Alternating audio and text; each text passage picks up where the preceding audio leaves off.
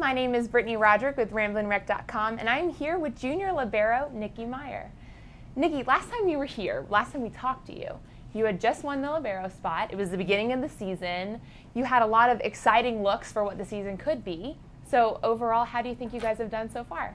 It's crazy to realize that we're already almost through second rounds of ACCs, and so much has happened since then. So we've had some injuries, but we've also had some younger people really step up, and it's just it's really cool to just see everyone kind of fitting into their role and like we're just getting to know each other as a team and I think we're doing pretty well. We have come out pretty strong this second round. So so far so good. So far so good. Well, libero is an integral part of any team, but I don't think they get enough acknowledgement for how job your for hard, how hard your job is. So, um, how has it been being the Yellow Jacket libero? It's I wanted this job. I wanted the pressure, and that's what it is. You start off every single play, the first contact, which is so important because if you mess it up, then like no one else can really do anything else with the ball either. So it's I've just kind of learned to embrace that pressure and like want the ball and like want to start off the play right. So it's just been a whole mind change for me like since my freshman year, and it's actually been working out really well. What has been the hardest part? You think?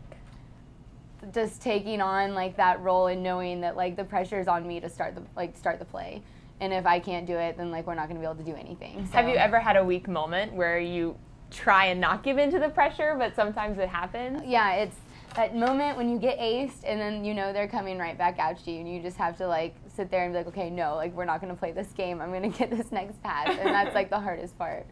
Well, even with all the pressure on them this weekend, the Yellow Jackets thrived and beat both Boston College and Maryland on their home courts. How do you think the weekend went? It was good. It was we beat both teams in four, and we were pretty steady. We finished really strong. The last two games against Maryland were very very strong, and it was just it's nice to like start to feel us getting into a rhythm because we're really going to need that for these next seven matches or five matches. Oh my God, five matches because it's a strong push for the end of the season. It is. Individually, you had 25 digs and nine assists. Mm-hmm. So how challenging is it to be consistent and especially this weekend knowing you had to get the two wins? It's just that's like the position and tanya told me the day that i like got the spot that like your job is consistency and it's to be steady and like there if there's any like fluctuations like with players like it cannot be the libero. Like that's like the one position where steadiness is the key so I just know that like that's my job and that's like been my main focus. Both Ivana Kolak and Jennifer Percy had very good offensive mm-hmm. weekends. So do you think they're finally getting the confidence they need to play at the next level, being a sophomore for both of them? I think they are. I think it's been like I said, like everyone's just been having these mental changes, and I think they both realize that we need them as part of the offense. We need to have a more balanced offense, and they've really like taken that to heart and like really focused on it, and they've done a really nice job. This Thursday, the Lady Jackets are heading to North Carolina for their last, say it again, last road match weekend of the ACC season, where they play UNC on Friday night and then NC State on Sunday. So, having lost to both of them earlier in the season, how critical is it to extend your winning streak?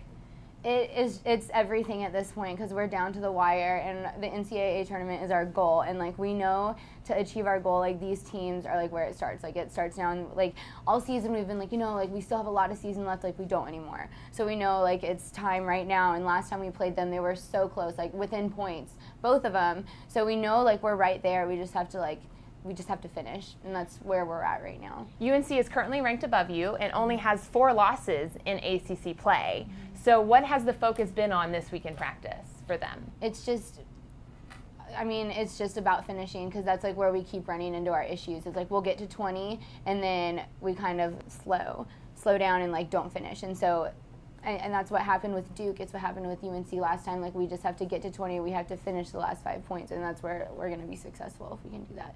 And everybody also knows that Monique Mead, the right side hitter, is going to be a dominating force and an integral part of how this weekend turns out. So, how do you think, what makes her special, and how does she continue to be a consistent, dominating force once again when all these teams scout her every weekend? she's just really grown in the sense where she's become very dynamic. She has she's starting to work on like roll shots and tipping, and she's like getting a vision of the other court and not just going up and swinging away every time. There's like always actually like a thought process, and it's really working out for her because you can't scout someone who's like learning week by week and she's just done such a good job of like learning how to like play smart and not just play unbelievably like slamming into the middle of the court every time because there's Right. a double block on her every time. So she's really learning how to use her mind instead of just her ability to put the ball down. So she's doing really well. Well, we all wish you the best of luck this weekend in North Carolina, and thank you so much for talking with us Thank today. you. There are only five, as Nicki Meyer said, five volleyball ACC matches left. So stay right here on RamblinWreck.com to see how these Lady Jackets finish up the season. See you in O'Keefe.